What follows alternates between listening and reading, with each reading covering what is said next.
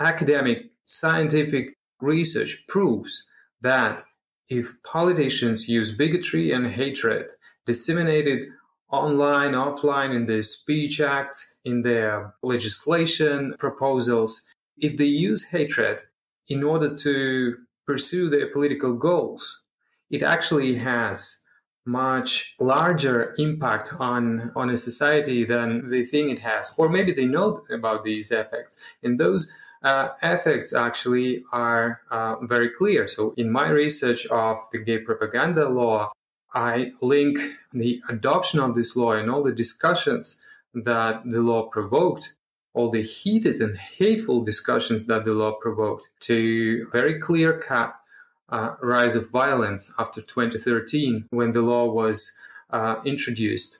So it's it's the rise of violence against LGBTQ plus people in Russia.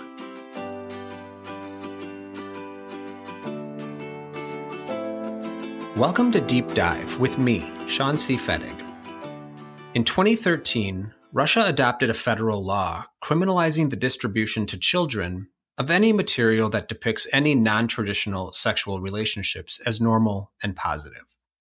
Despite the language, this was targeting how queer folks and queer relationships are portrayed in Russia.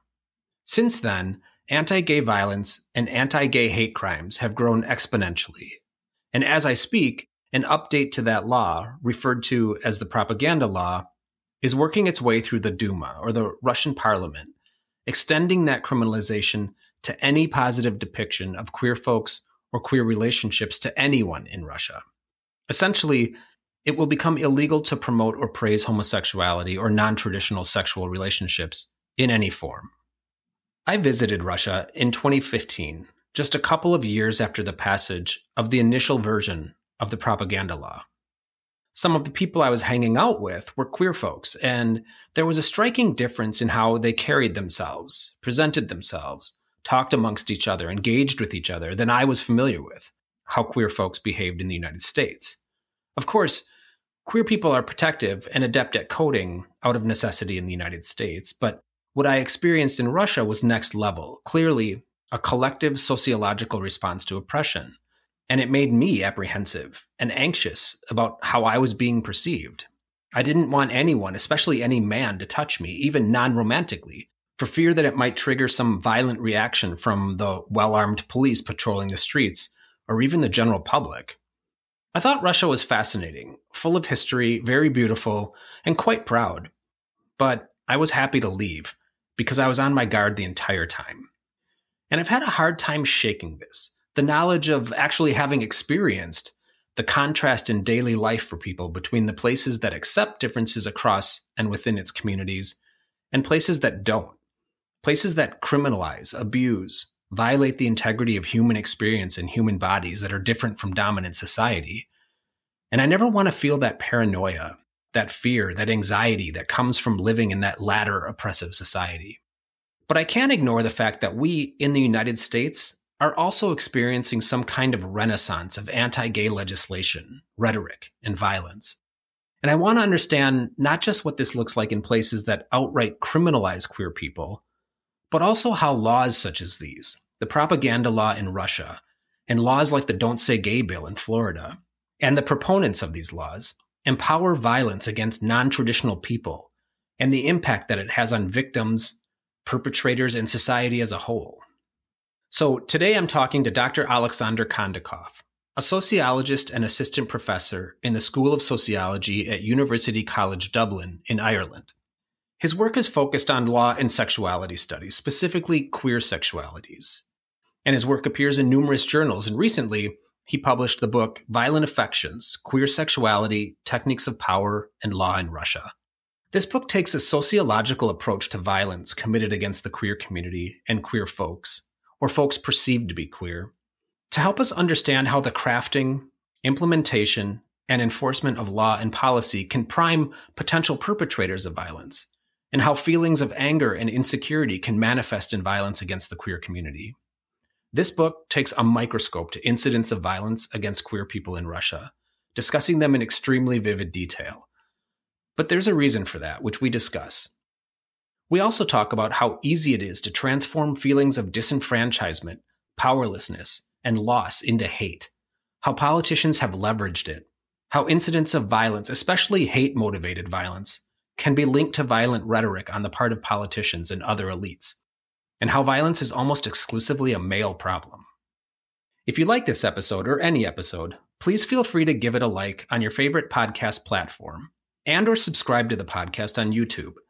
And as always, if you have any thoughts, questions, or comments, please feel free to email me at deepdivewithshawn at gmail.com. Let's do a deep dive.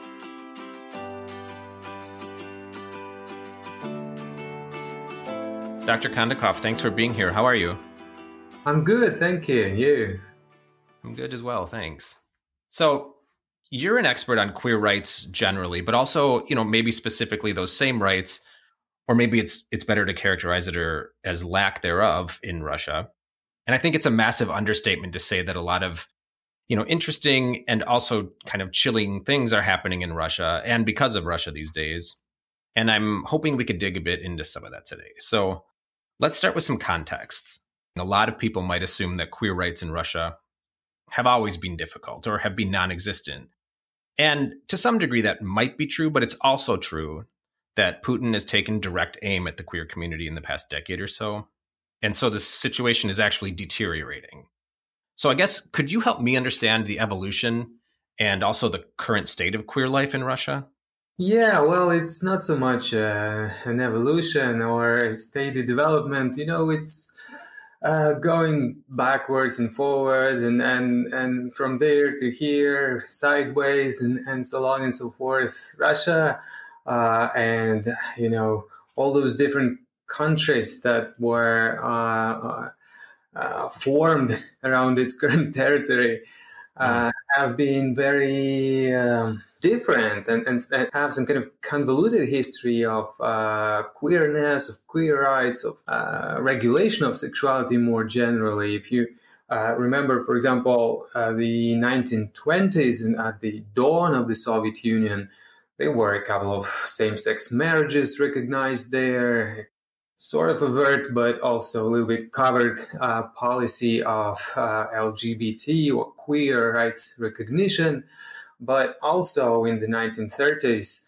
criminalization of uh, same sex intercourse happened, or recriminalization because it was actually criminalized before the USSR or the socialist revolution. So you see, it's it's not always a, a, sort of evolution. But in, in terms of contemporary Russia, what is known as the Russian Federation, uh, in uh, 1993, so right after the dissolution of the Soviet Union, same sex intercourse, which was criminalized in the Soviet Union, was decriminalized there. And then uh, nothing really happened in terms of uh, law for a couple of decades until uh, exactly actually 20 years later, when in 2013 gay propaganda law marked a kind of turn away from any sort of improvement or evolution and into what we experience now uh, there, kind of a sad state of LGBT rights in Russia.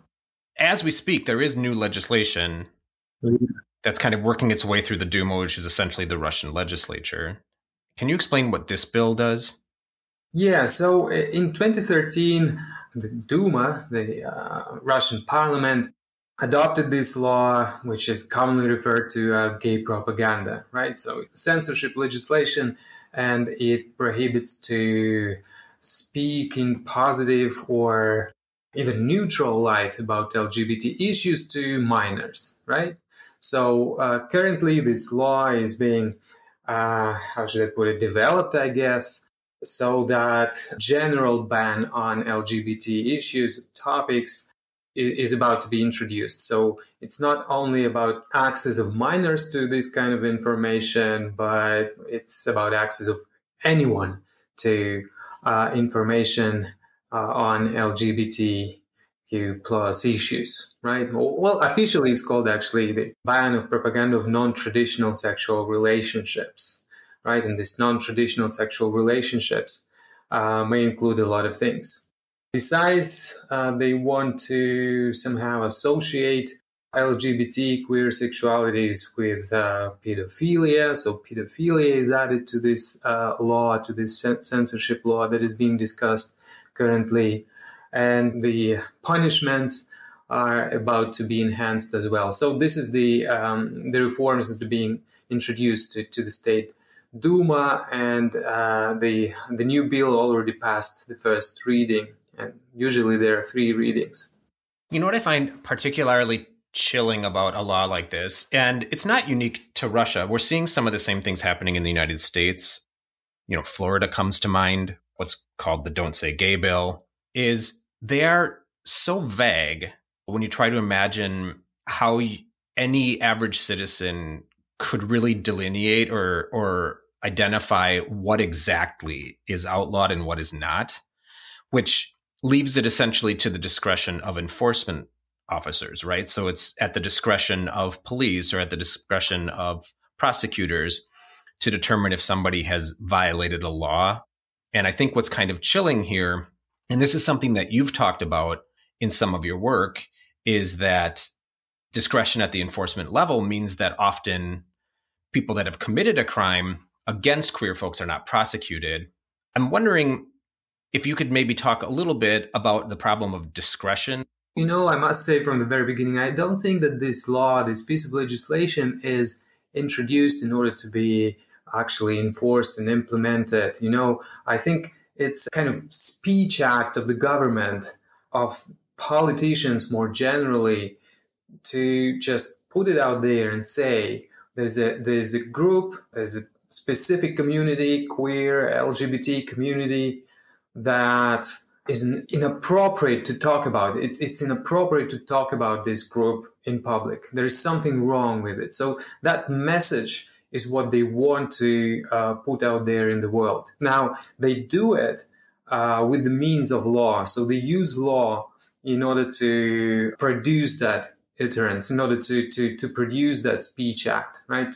Because it is more powerful if it is law.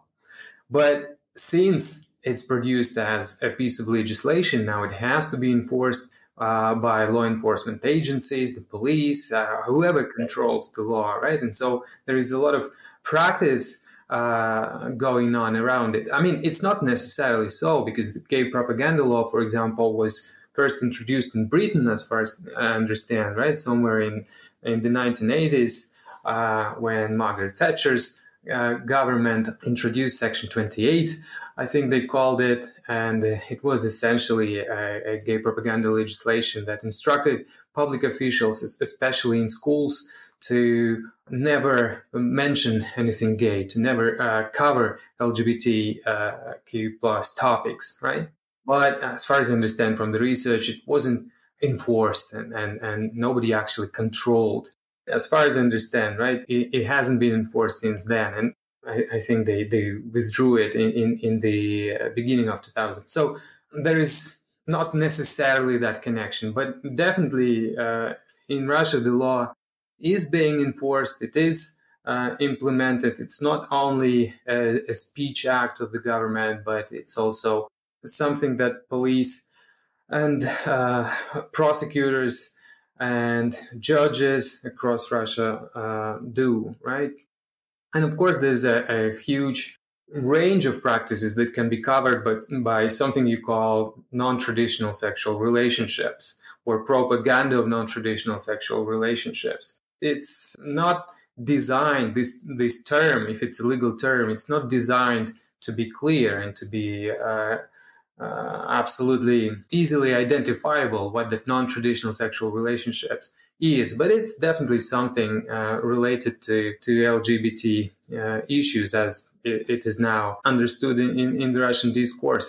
But the truth is, you know, even before this legislation was introduced in Russia, some law enforcement agencies thought that it wasn't appropriate to talk about uh, something homosexual, something gay in public, and they uh, kind of enforced their own censorship ideals even without the law, which was only introduced in 2013. So, you know, uh, there is always that power of discretion in the hands of uh, law enforcement officers when it comes to to censorship.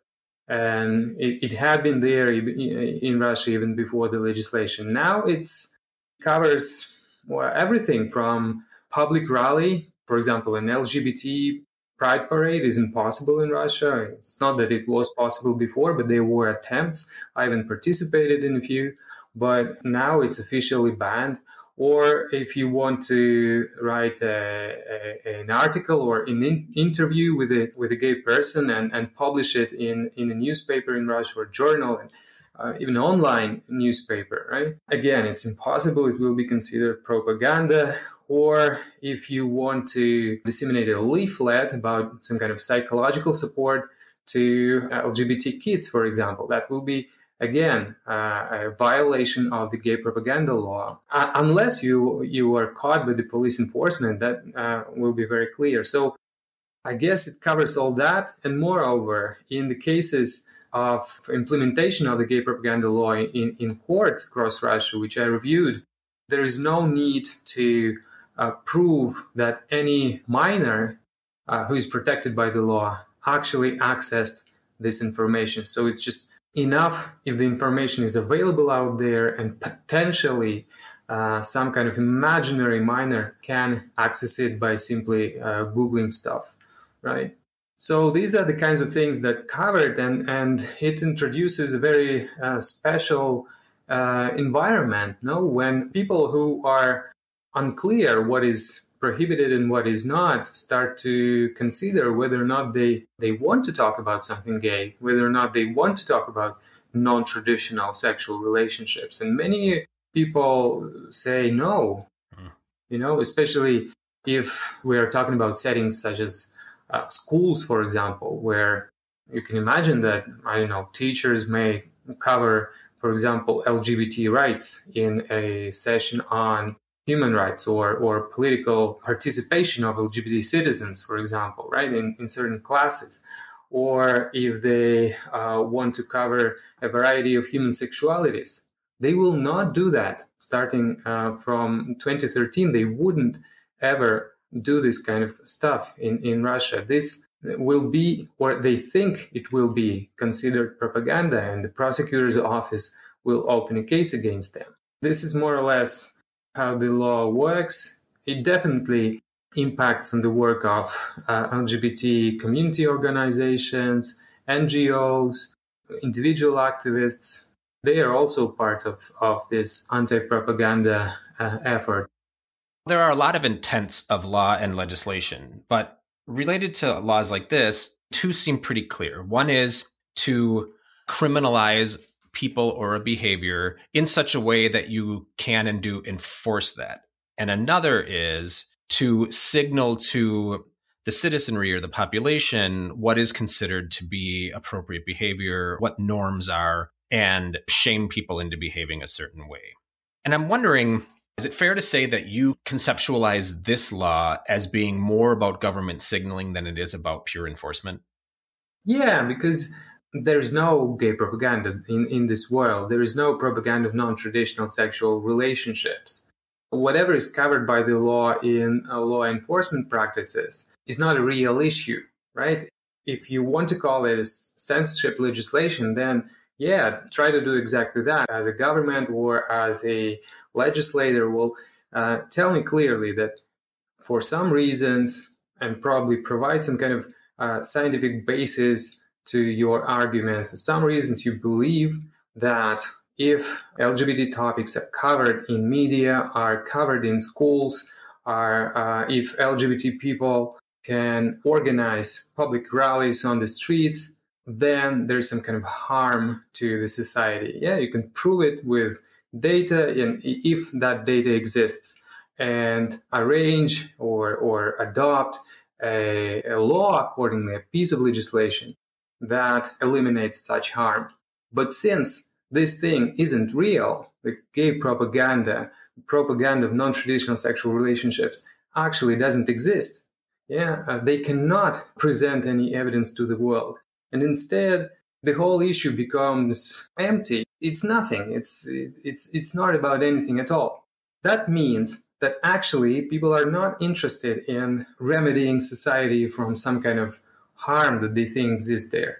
actually they use this law for different reasons. What could be those reasons? Well, I guess it's uh, uh, something of, I don't know, political legitimization, for example, of power through producing this kind of uh, hateful material for uh, affiliation of certain groups in society and amassing their votes or uh, kind of other forms of support, right? Uh, for the politicians who use these kind of utterances, who use this kind of legislation to pursue their goals. If you look at it uh, from this perspective, you you see that probably there is nothing else in this legislation but some kind of political instrumentalization of homophobia rather than mm. addressing a real existing issue in a society.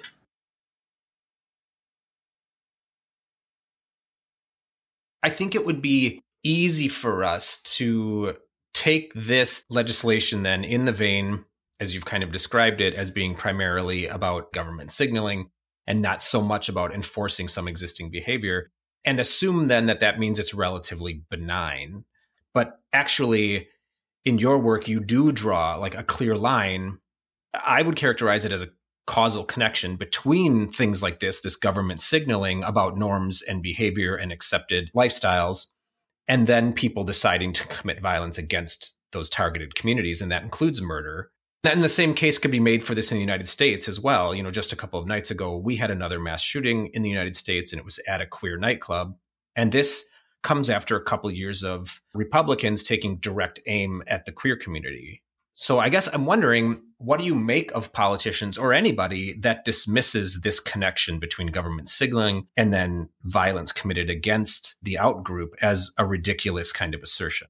Yeah, well, data shows uh, my research, but not only my research, academic scientific research proves that if politicians use bigotry and hatred disseminated online, offline, in their speech acts, in their legislation proposals, if they use hatred in order to pursue their political goals, it actually has much larger impact on on a society than they think it has or maybe they know about these effects. And those uh, effects actually are uh, very clear. So in my research of the gay propaganda law I link the adoption of this law and all the discussions that the law provoked, all the heated and hateful discussions that the law provoked, to very clear cut uh, rise of violence after 2013 when the law was uh, introduced. So it's it's the rise of violence against LGBTQ plus people in Russia, right? If if in 2012 the level of violence was around uh, 30 cases of injuries and, and, and, murders in the most kind of conservative estimates. Then by 2015, this number is twice as much, right? Twice as many lives have, have, have been had been lost, and that's that's a direct result of this law. So no hatred, no spread of this terrible and harming information goes unnoticed some people react to these messages and some people take weapon in their hands in order to act upon these messages. And this is a direct link. Uh, there is a direct link between uh, the spread of, of hate and people being targeted and killed. I've known quite a few people that have left Russia in the past year for, you know, a variety of reasons. Obviously, the mobilization effort and the economic situation or, or its outlook plays into that. In the last couple of months, I've known a handful of queer folks that are leaving because of the increased threat to their safety. And I don't know, also because I just mentioned, you know, the war in Ukraine and the economic prospect, how much we can, you know, uh, evaluate these things in a vacuum or separately. But I, I guess I do wonder, given the deteriorating condition for queer folks in Russia, what is future life, the near future life look like for queer folks in Russia? What is this doing to Russia? Yeah, those are very good questions, but of course, I mean, I have no uh, real answers to them. The future for, uh, like, on an individual level for for queer folks, and on a more collective, like, general level for for the entire Russia. For me, at the moment, this future looks very grim and very sad, and it's it's not only be, because There's a lot of homophobia and terrible policies in in, uh, in the sexuality domain that, that the government has done. But of course, the war on Ukraine informs this future very much. So, I mean, a lot of a lot of people, as you say, simply left Russia because this year, right? Because of uh, being afraid to be sent on the front line, because of being afraid to be sent to prisons and, and, and detention camps all around the country. Uh, because of uh, their resistance to governmental decisions, and not only because of their sexuality, but also because they're scapegoated and stigmatized for their sexuality and other social characteristics that the government doesn't like. So yeah, this this all doesn't work uh, very well for the uh, for the country. Can I ask you a personal question about? Sure. Would you be comfortable going back to Russia, even to visit? Well, at the moment, I'm not comfortable going back to Russia, uh, but for a very specific reason. You know, it's it's for uh, the threat of mobilization. Right. I'm a I'm a uh, young male uh, citizen of Russia, and I don't want to be uh, mobilized to to the Russian army at the moment for a very clear reason. I don't want to kill anybody. I don't want to participate in this genocidal war, to be sure. But even before that, I, I mean, I haven't been to Russia for several years, and and I wouldn't be scared to uh, go there because of being gay right? Because I a specialist in this topic, but also, and it doesn't give me uh, any protection, surely, but uh, I think I knew how to navigate uh, everyday reality. I knew the dangers. I uh, read hundreds of cases of anti-queer violence, and I saw how perpetrators of that violence recruit their victims. I would definitely stay away from, from the violent places in, in which uh, those those crimes occurred in my sample. But it's uh, definitely it, it has been a dangerous place for uh, LGBT folks who uh, lived there, who had that everydayness literally every day and couldn't escape anywhere. I, on the other hand, would only go there to visit and in this uh, sense, uh, I had some kind of extra protection of being part of other world communities, not only of Russia. You mentioned reading hundreds of cases of anti gay violence. You compiled a lot of those stories into your book, Violent Affections. Yeah. Before we talk about the book itself, there is one thing that struck me in reading it that I really appreciated, but I also could imagine that some people would have a hard time with you very clearly and deliberately choose to tell these stories of anti gay violence in kind of vivid graphic detail. And I know a lot of folks, people in my own life, that have a difficult time with these types of things. They look for ways to actively avoid ingesting information like this or seeing stories like this. And I I agree with you that bearing witness is kind of an essential component of building compassion. But I do wonder if you've gotten any negative feedback for telling the stories this way, or what has the feedback been? Yeah, well, you remember the book uh, uh, starts actually with a trigger warning. Mm-hmm.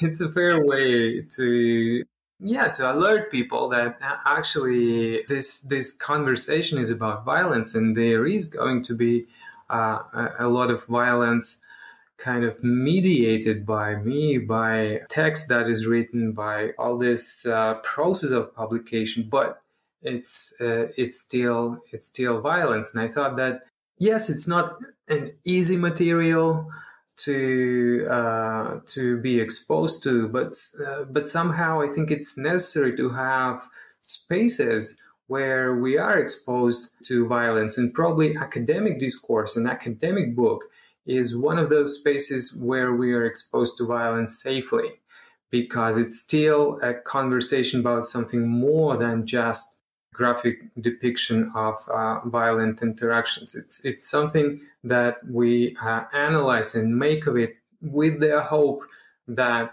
those kinds of incidents uh, become less frequent. But so far, the book is just just out. Literally, it's uh, it's been just a few months.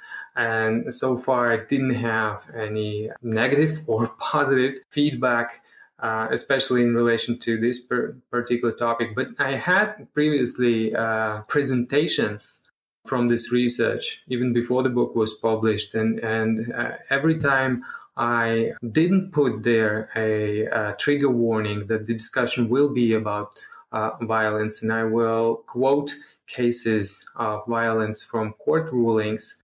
Every time uh, I, I, I forgot to put that trigger warning, uh, there were people in the audience who were upset, and I sincerely sorry and apologize for that. But that's part of the job, unfortunately. Right. So there's something that I've noticed being a queer person, and I guess I assume to some degree this must apply to other non dominant groups. And I wonder if you've experienced this, which is I think there's a level of kind of compassion that we can all bring to reading other people's stories or seeing other people's stories that are particularly tragic or sad or violent. There's a level or a bar that we can all meet. I think these things land differently for me when I'm reading about violence against like the queer community because I am a queer person, right? Mm. There's something that I bring to that space that I think people that aren't queer don't quite understand. I guess I've got two questions here. I wonder if this says something about just dominant society's ability to really even break through and fully understand what this does to communities because they will never be in the position themselves. But then the other question is you kind of live this. So I'm wondering what kind of a toll, if at all, this takes on you, or how you are able to kind of perhaps even build a barrier to do this academically without internalizing it.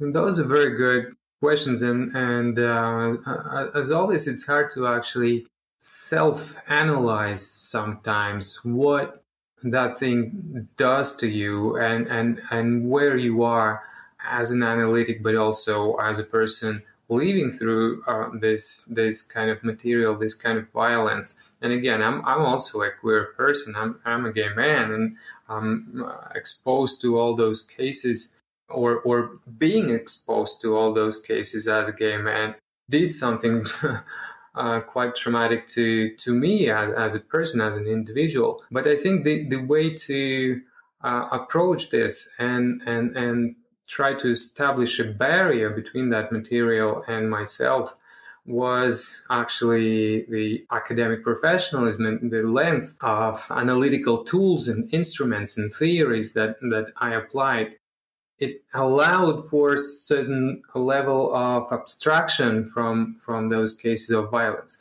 Even though I can tell you actually that you know I, I cried over many of them because reading over and over all those tragic stories is traumatizing, especially if you have to do it not in uh, a few selected uh, moments, but if you have to go through uh, literally hundreds of documents with those tragic stories, uh-huh. so uh, yeah, it's uh, it, it does something to you. But that uh, the the job of professional analytic somehow helps to cope a, a, little bit.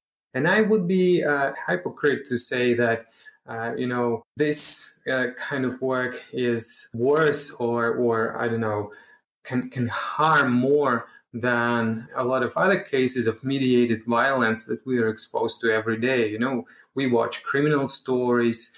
Mm-hmm. Sometimes they're based on true histories of people who actually lived there. We uh, read criminal novels. We, uh, you know, read news in, in the newspapers about crime. And uh, many of those things uh, many of those products are much much more graphic than than my academic book. And, uh, especially if we're talking about you know uh, film and, and and tv overwhelmed with with with violence. And the ways violence is depicted there is is hundreds of times much more graphic than than anything i can produce. So violence is is around us anyway in, in, in all those forms. And I think what what I do as a sociologist, as a uh, an academic, I try to offer that mechanism of protection from violence that I used uh, in my personal case. So I offer that abstraction, that theoretical abstraction, and and analysis of of the phenomena of violence uh, in, in, the book and, and in my work more more generally. You know. And if if that is something uh, that can be uh, instrumentalized by by other people, that's already great. But uh, I hope for a larger impact. You know, I, I hope that if we understand uh, violence, if we know how it works, if we analytically dismantle uh, the mechanisms that enact violence, maybe actually there's a chance we can better control it. Uh, we can, as society, as humanity, even you know, and and that's that's an ambition uh, that underlines the whole the whole project actually. And perhaps this is because you are an academic and you approach this through an academic lens. But I think when these types of crimes happen, we immediately jump to characterizing them as hate crimes, right? That's the language we use which lends itself to a narrative that these are all hate based crimes. And I think you kind of thread a needle, not just in violent affections, but in some of your other work as well, and make the argument that these perpetrators of some of these types of violence are not necessarily always driven by hatred, but that rather there's a variety of emotions that guide their actions. And I think this is subtle but a very important distinction because what I think we often do is we have these catchphrases and we bumper sticker violence against out communities. Here we're talking about queer community as being simply hate motivated. But you make the argument that some motivation for these types of crimes is much more internal to, you know, the perpetrator and it's much more intertwined with their own emotions. And I think the obvious one that jumps to mind is insecurity, right? Mm. And this is not, you know, I suppose to mitigate it in any way, but and you argue that understanding the difference helps us to also understand how to address these issues when they manifest in violence. And I guess the question is, how do we address this kind of behavior that to me seems like almost exclusively a male problem of violence? What thoughts do you have?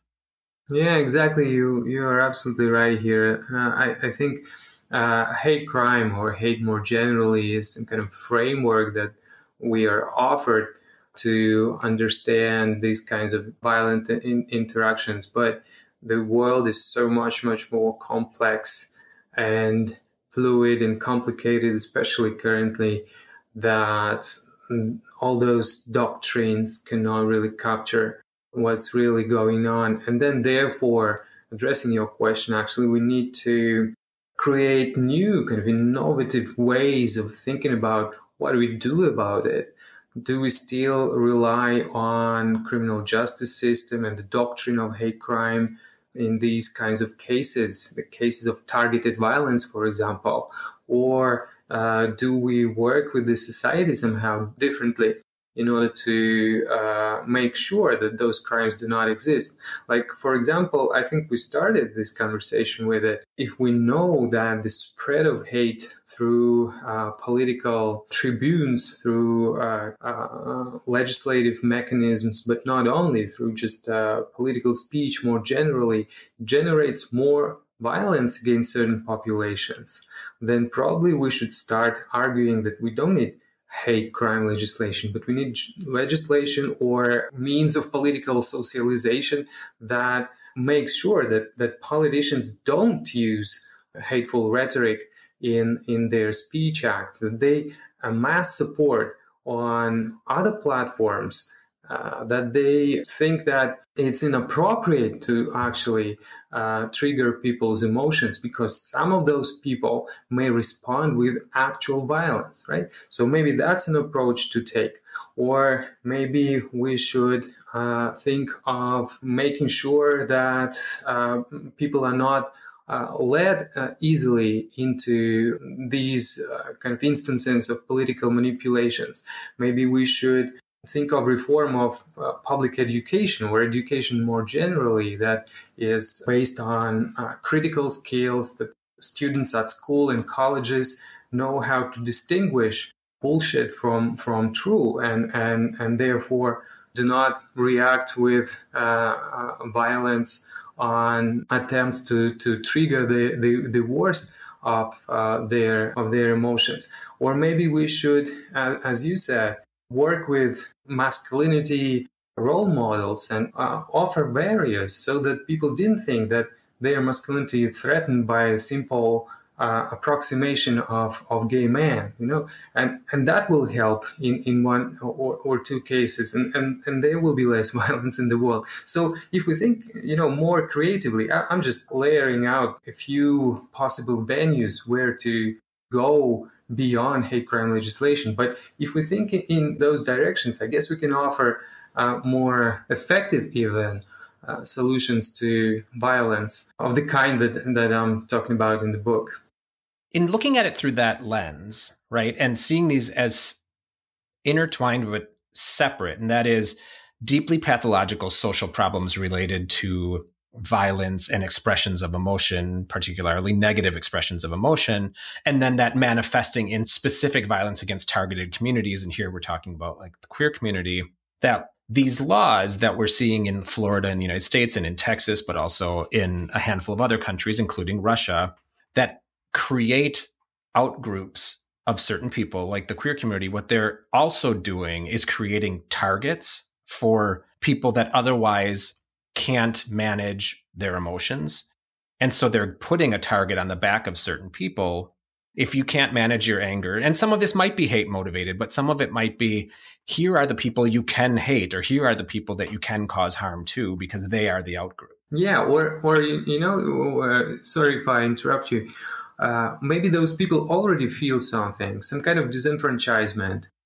But now some politicians turn that disenfranchisement, turn that feeling of, of loss and powerlessness into hate. Mm. So, you know, hate comes uh, second, or something we call hate. You know, it's actually not necessarily uh, about hatred, but there is some kind of initial feeling of losing ground and then that feeling is being exploited by channeling violence onto certain populations you know i think at its most stark an argument could be made here that the world is splitting on these social lines and the old kind of paradigm has been you know one of you know the world is a battle between democracy and authoritarianism and prior to that it was like democracy and communism but that instead maybe we're moving or evolving into a world that splits along social lines.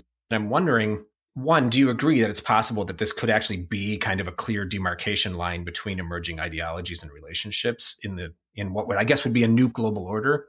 And then is Putin staking out a position as perhaps a leader on the more illiberal side? And then what does that world look like? Mm. I think what's what's happening. I, I kind of agree, but I would put it this way. You know, there's this idea of performativity in social science, and so this kind of uh, political affiliation and democracy and authoritarianism, they they uh, are actually performative. They become practices. So currently, Putin definitely acts as an authoritarian leader, and he wants uh, other countries to join his cause, and uh, uh, probably he's not very good at amassing support on the world arena. But before the war, he was relatively fine actually in mm-hmm. in doing what he did, and so uh, some countries would do actions like oppose LGBT rights. Uh, agenda, for example, and this would signify that they are against the liberal world and therefore this uh, more authoritarian uh, agenda, right? But that position shifts and, and, and changes and is, is kind of fluid, you know, and, and, and Trump's presidency definitely signaled that possibility of change even in liberal democracies and then that fluidity of political uh, affiliation and institutionalization in liberal democracies too so russia probably was never a, a democracy, but it acted as uh, one in certain points of its uh, recent history and is currently not acting as one. And by not acting as one, it definitely uh, appears as an autocracy. Now, the question is how, uh, how other countries how other governments act on the global arena and therefore how they appear. Currently, you may see some kind of clear cut divisions between those countries, but uh, again, it's not that tomorrow it will be the same because of this this performative uh, character of this whole process.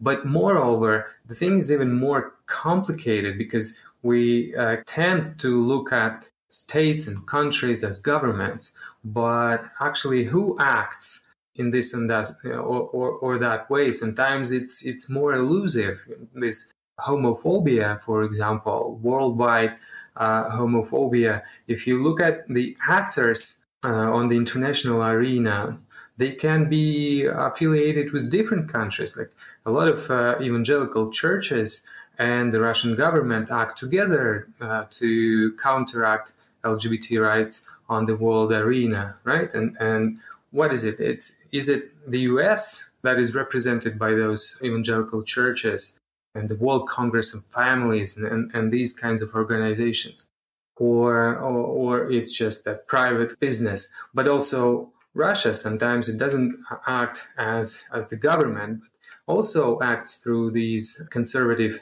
NGOs and, and, and movements, or even you know online actors like these troll factories and so on and so forth. So it's becoming less obvious where where to exactly look at and and to whom we assign this kind of agency uh, on, on the world arena in these international processes and, and, and relations. Okay, Alexander, one final question. What's something interesting you've been reading, watching, listening to, or doing lately? And it doesn't have to be related to this topic. to be honest, you know, uh, uh, you know how academia works and uh, actually takes up so much of your time. It's uh, I don't even remember when I read a, a, a, fiction book, you know, last time because I have to read all those academic books all the time, textbooks. Mm. There is no real pleasure in life anymore. That's so stark. yeah, no, right? a few days ago, I've seen um, the um, Banshees of Inisherin.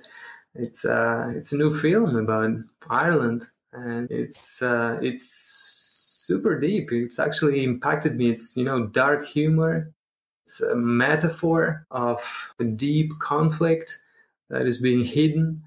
It's a metaphor of human relationships, and it's not only about Ireland. If you have a chance to take a look, definitely do so and it's about war, uh, civil war in, in, in, in Ireland. But it resonated with me because, you know, the country where I was sort of kind of born, it's a, was a different country, but still that claims the legacy is also in war, in, in, in a war that with its neighboring brother, sister nation. And probably that fact somehow resonated with me in this film as well. Hmm.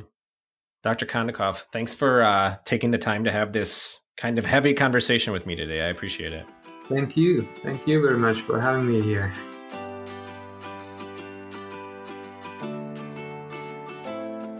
You know, I want to say this. That feeling that I mentioned at the outset of this episode of anxiety and fear that I had being a queer person when I visited Russia, I've started to feel that same way again here in the United States. After the concerted effort on the part of some politicians and some right wing extremists over the past couple of years to demonize queer folks, to label queer folks as pedophiles and groomers, to strip any mention of queer lives from schools, libraries, even bookstores, to terrorize trans kids and their families, essentially to criminalize queer folks, I will do everything in my power to avoid places like Florida and Texas and Mississippi, Louisiana, Alabama, etc. They are dangerous, they are life threatening for my people. And primarily because politicians have taken deliberate, direct aim at queer communities, queer families, and queer kids. Why wouldn't violence increase as a result? We have evidence from other places, like Russia, for instance, that increased marginalization and criminalization of queer people is linked to rises in violence committed against queer people and queer communities.